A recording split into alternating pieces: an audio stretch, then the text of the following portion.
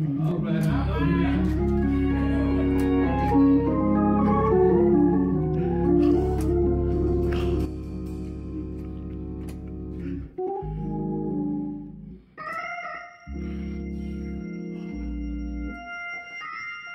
us pray. Our Heavenly Father, we ask that you would guide us, keep us, and use us in your service today. In Jesus' name, amen. Our text for today is found in 1 John chapter 3, verse 18. It reads, Little children, let us not love in word or talk, but in deed and in truth. That's the English Standard Version of that verse. Now, get, bring us up to speed. Somebody might have missed something, uh, whatever, but uh, in in the month of January, uh, we specifically uh, preached a title, uh, a series titled "Into the New Year," and we preached uh, certain subjects like uh, the first one was "Let Go to Go Forward," second one was "Don't Get Stuck in Life's Passageways," and then the next one, "God's already been where you're going." and uh, then God has a wonderful blueprint for your life.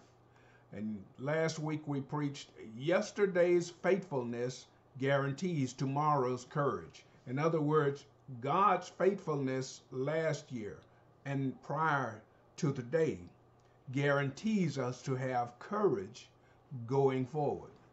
And this week I'm starting a new series on love is more than just talk. Love is more than just talk. And today I want to focus our attention on the subject of love or death. Which will you choose, love or death? Now we're continuing to enjoy God's continued attitude of blessing his people. And we must remember that it's all by grace that we exist to enjoy his blessings. And because God continues to choose to, to bless us, we must be moved to continue to be obligated to thank God continually. God can at any given time discontinue blessing us with life and all of its benefits without checking to see if we are okay with his decision. So today we're focusing on love or death. It's easy to lay down one's life. In other words, as the martyrs uh, did in the period of martyrdom, uh, that was heroic and exhilarating. The Apostle Paul even died on Nero's chopping block. And we are instructed to take up our cross daily and follow Jesus. But the difficulty lies in doing the little things, facing day by day the petty sacrifices and self denials which no one notices and no one will ever applaud us for. John 3:16 says, "This is how much God loves the world. He gave his son, his one and only son. And this is why, so that no one need be destroyed. By believing in him, anyone can have a whole and lasting life. That's the message version of John 3:16. Now John chapter 10 verse 10 says this is Jesus speaking. He says, "The thief cometh not but to steal and to kill and to destroy. But I am come that they might have life and that they might have it more abundantly. Love means readiness to do anything at any time for other people. Love means a readiness to do anything at any time for others.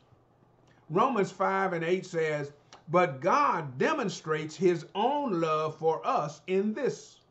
While we were still sinners, Christ died for us. That's the New English, uh, New International Version. Now, we may not have the opportunity to save brothers uh, of ours lives by dying in their place. But we can, can and should do the next best thing by namely sustaining their life when we have what he needs. When I give to a brother in need what I could use to keep me alive, by that I have followed Jesus' command and his example to of self-sacrificing love. Our love for God is manifested by obedience to him. But our love for other Christians is manifested by our willingness to sacrifice for them. Now, John's letter has been compared to a spiraling staircase because it keeps returning to the same three topics love, obedience, and truth. And even though these themes recur, it's not true that they are merely repetitious. Each time we return to a topic, topic, we look at it from a different point of view and are taken more deeply into that topic. Now we've already learned, uh, and and if you haven't read uh, First John chapter two lately, I recommend that you read it. Uh, First John chapter two verses seven through eleven, and uh, the emphasis in uh, First John chapter two verse seven through eleven was fellowship. A believer who is walking in the light will evidence that fact by loving the brethren. In our present section, the emphasis is on his relationship with other believers. Christians love one another because they have all been born of God which makes them all brothers and sisters in Christ Jesus. Obedience and love are both evident of sonship and brotherhood. Now we've been reminded that a true child of God practices righteousness in 1 John chapter 1, uh, third chapter, verse 1 through 10. And now beginning with verse 11 through verse 24, we uh, shall look into the matter of love for the brethren. This truth is first stated in the negative. It says, Whosoever doth not righteousness is not of God, neither he that loveth not his brother. Now, a striking difference should be noted between the earlier and the present treatment of love for the brethren. In this section on fellowship, uh, back in uh, uh, verses uh, 7 through 11 in chapter 2, we were told that loving the brethren is a matter of light and darkness.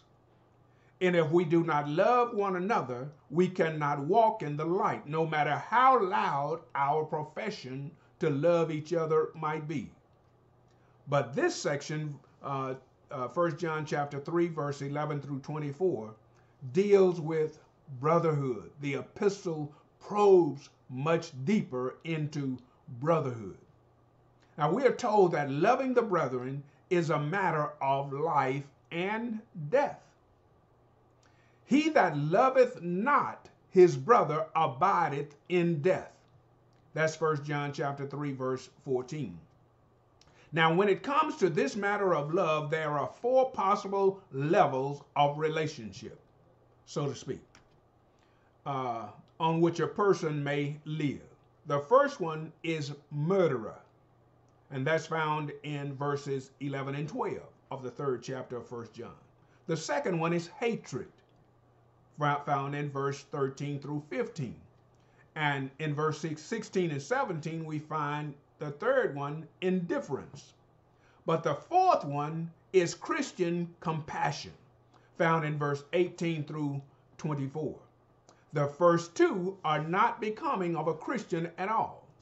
And the third one is less than Christian. Only the last one is compatible with true Christian love. True Christian love is self giving and not self getting. That's what we see evident in John 3:16. And on the cross on Calvary, we observe John 3:16 spreading from the Father and then from the Son.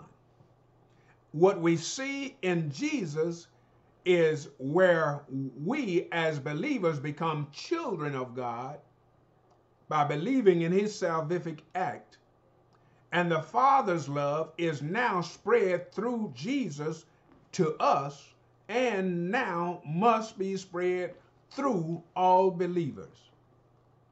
John uh, chapter 13, verse 35 says, By this all men shall know that you are my disciples, if you love one another.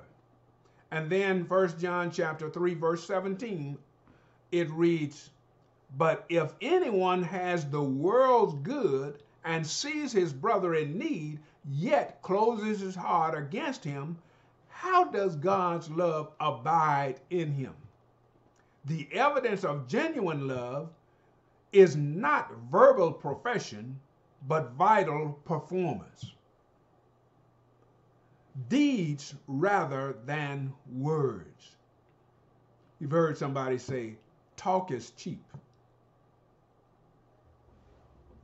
Now, 1 Corinthians chapter 13, verse 1 uh, Paul makes the statement If I could speak all the languages of the earth, and Paul could speak a multitude of languages, and of angels, but didn't love others, I would only be a noisy gong or a clanging cymbal, just making a lot of noise. James chapter 2, verse 15 says, if a brother or sister is poorly clothed and lacking in daily food, and one of you say to them, Go in peace, be warm and filled, without giving them the things needed for the body, what good is your love? The major concern of this passage is to encourage obedience and active love from all of those who claim allegiance to Jesus Christ. So the question is Am I content to just say I love you?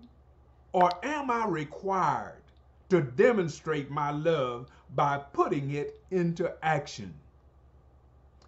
I saw a plaque on somebody's wall in their office uh, uh, once, uh, and it asked the question, how do you know that Jesus loved you? The answer was, he gave his hand to the nails. He gave his feet to the rivet. And he gave his side to the spear. He died on an old rugged cross on a hill called Calvary. For you and me, he died. And in dying, he made us to become sons of God. He died to free us from a sin debt that we owed and could no way pay. And early on the third day morning, he rose with all power in heaven and in earth in his hand. Power to cure a sin sick soul that was leading to death. And I'm out of time now, but I must remind you that he ascended up to the Heavenly Father. And he's preparing a place for us and making intercessions for us day by day. And that's a reminder that our sacrificing for each other must be on a day to day basis because Jesus encouraged, he, he, he admonished us to love one another and to take up our cross daily and follow him. He's coming back to take us to a place where joy will never end. Unspeakable joy. And death will be no more. Let's close with another prayer. Our Heavenly Father, thank you for keeping me. Thank you for loving me. And thank you for using me. Now I pray that you would give the increase that all who hear this, these words will participate in the process of putting into practice whatever you command us, that we will become more than hearers, but doers of your word. In Jesus' name we pray. Amen. So, all that's left for today is to remind you and us to mask up, practice social distancing, and wash your hands often. And with that, I'm out of here until next week. Take care and know that God's mercy and grace will see us through. Take care. Bye bye.